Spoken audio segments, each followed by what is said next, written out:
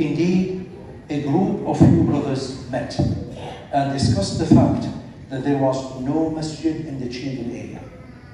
The brothers agreed that there was a real need for a masjid and a community center. The brothers next arranged to hold a community meeting at Outwood Road Community Center. A personal invitation was sent to Muslim families in the area